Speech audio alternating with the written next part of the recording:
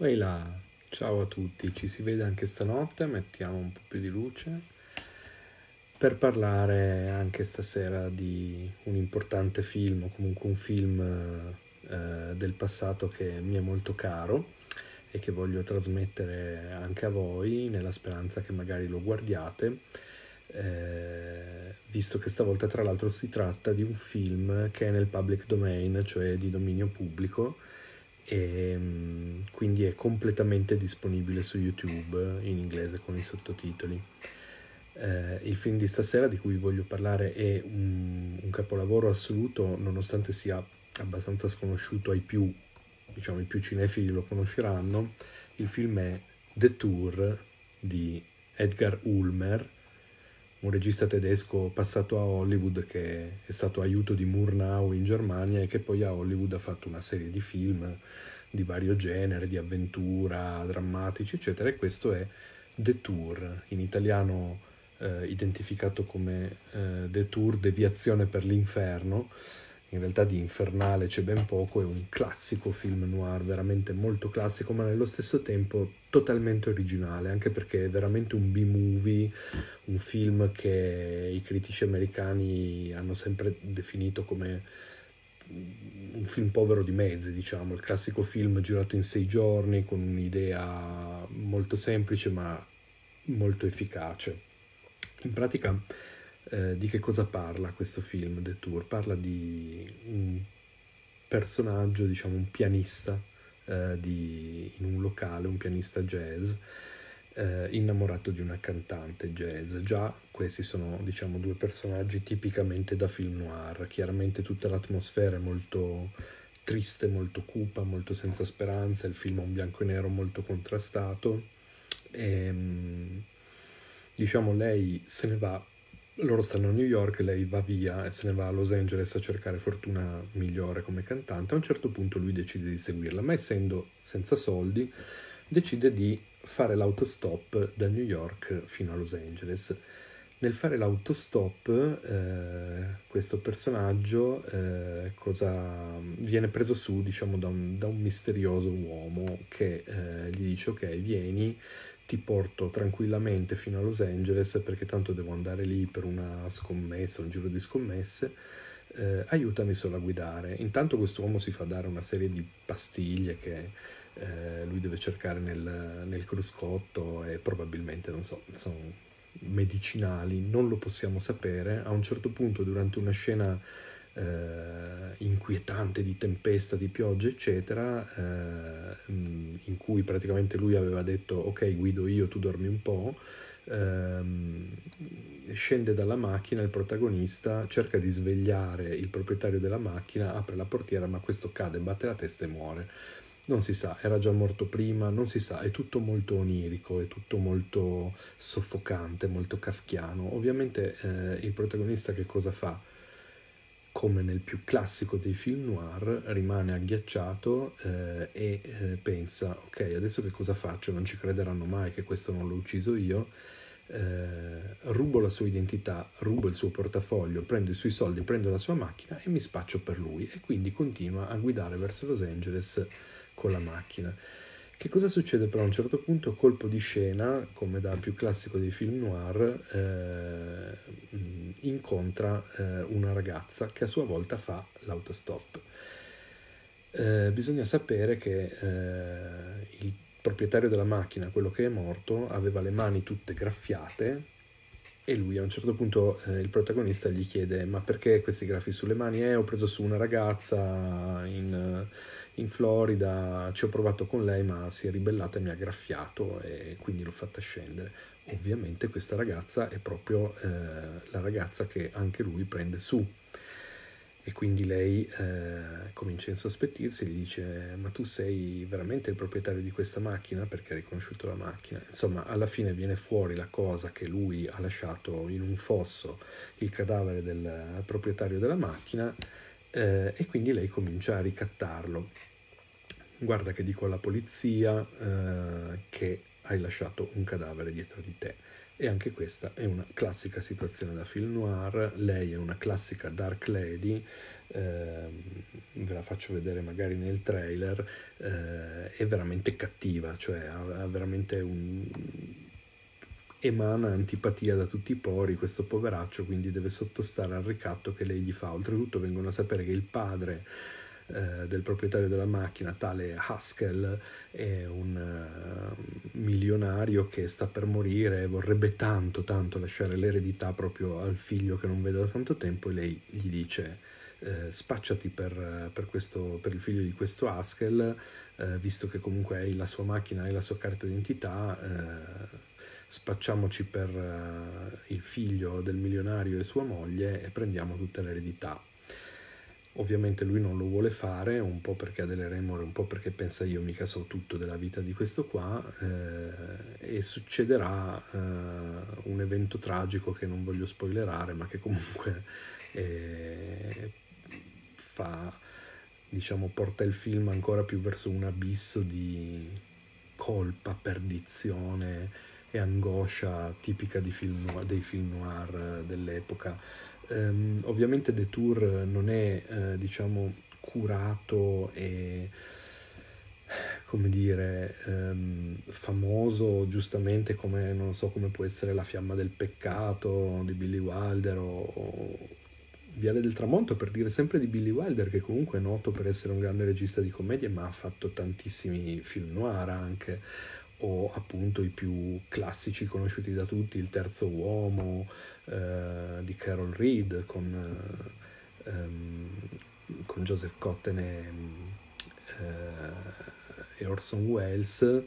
Eh, Orson Welles che anche lui aveva praticato come regista il genere pur diciamo stiracchiandolo un po' magari in film come L'Infernale Queenland per esempio. E poi tutti i classiconi con Humphrey Bogart, Il mistero del falco, Il grande sonno eccetera eccetera. Allora questi sono i canoni del film noir. The Tour è un pochettino meno conosciuto ma è maggiormente nel mio cuore proprio per un'atmosfera assolutamente kafkiana e poi anche per il modo in cui è girato. Ulmer ha sempre detto eh, ho girato questo film in sei giorni, poi in realtà pare che non sia vero, magari possono essere dieci, ma comunque eh, pochissimi giorni, con attori sconosciuti, eh, sulle strade, praticamente ha montato, per mancanza di, di girato, ha montato pezzi di, di strade ehm, in modo eh, tal, ricorsivo e talmente sempre diverso, cioè ehm, ribaltando orizzontalmente l'immagine, quindi eh, rendendola speculare in modo tale che un americano un po' sgamato che guarda sto film pensa ma questo sembra andare avanti e indietro per tutta la, mm, la, l'America, eh, la fascia diciamo della Route 66 invece che procedere diciamo da, da New York a Los Angeles dritto, no? perché comunque ci sono del, delle, delle deviazioni, dei dettagli tour veramente macroscopici all'occhio di chi conosce le strade. Vediamo un attimo il trailer così vi rendete conto dell'atmosfera. Mm. Ecco qui.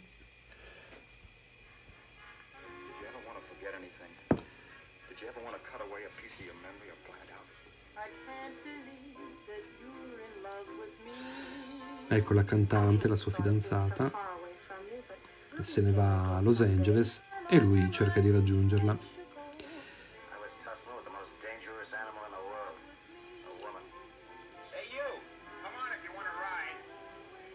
E questa è Vera, la Dark Lady. Mm?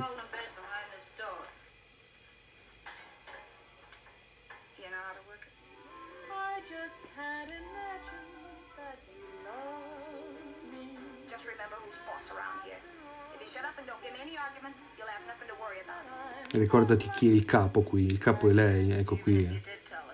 sotto la pioggia, il protagonista che trascina via il cadavere del signor Haskell.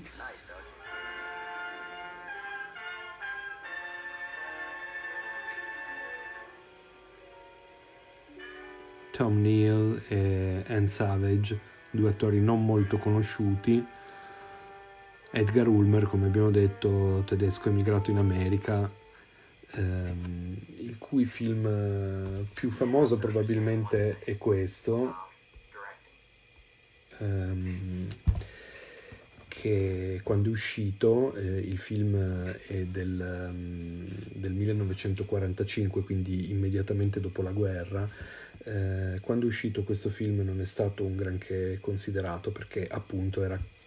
considerato un prodotto povero, diciamo, un prodotto per i cinema di serie B, i drive-in, di seconda visione, no? i drive-in, i cosiddetti grindhouse.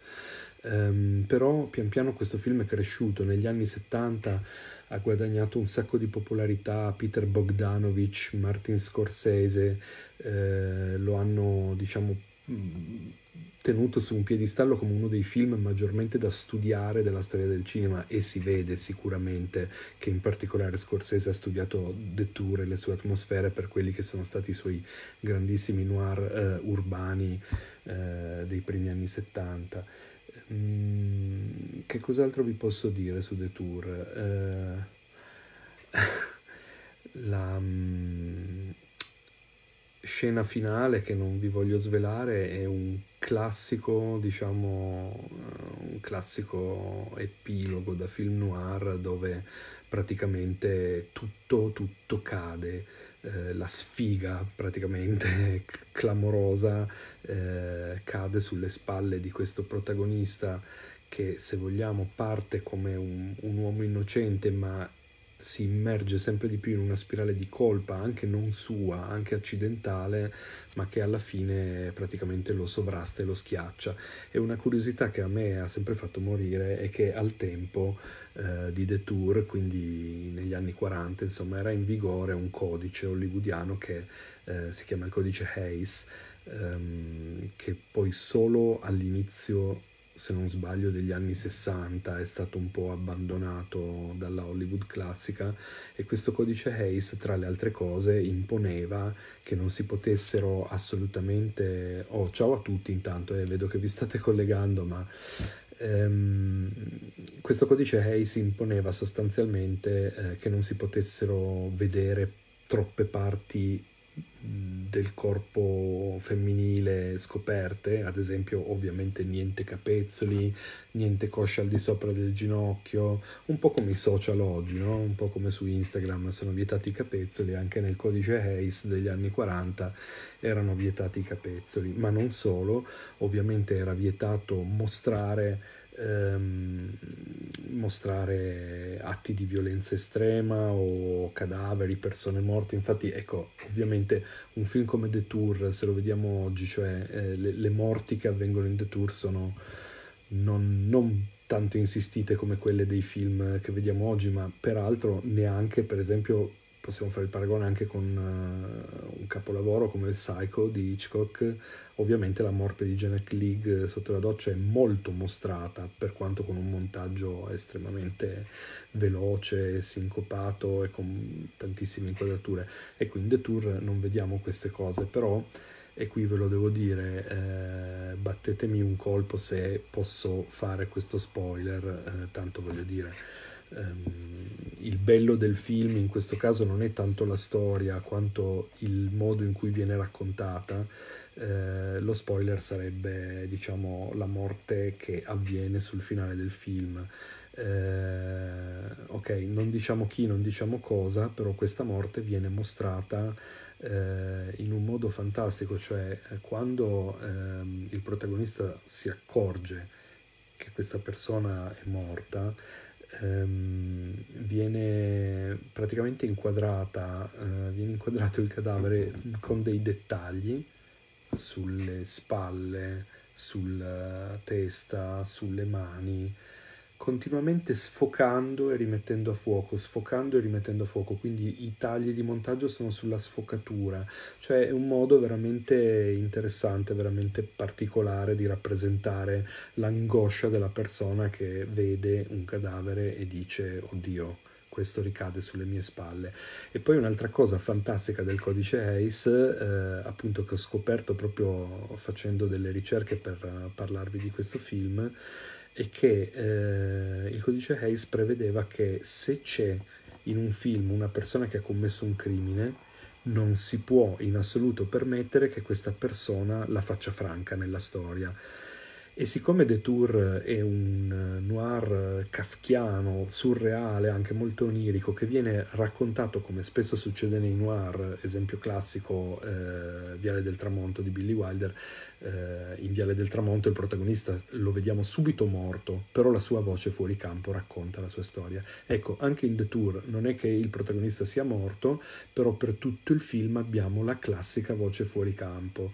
eh, è un topos narrativo del film noir che viene ripreso anche dai neo-noir, come per esempio mi viene in mente L'uomo che non c'era dei fratelli Cohen, con Billy Bob Thornton, che comunque ha una voce fuori campo molto insistente, oltre ad essere tra l'altro il film che mi ha fatto scoprire quel gran pezzo di eh, Scarlett Johansson, che in quel film è veramente clamorosa. Um, ho fatto la mia solita parentesi, il mio solito detour Ehm, e quello che volevo dirvi è che appunto sì, eh, riprendo il filo del discorso da dove ero rimasto,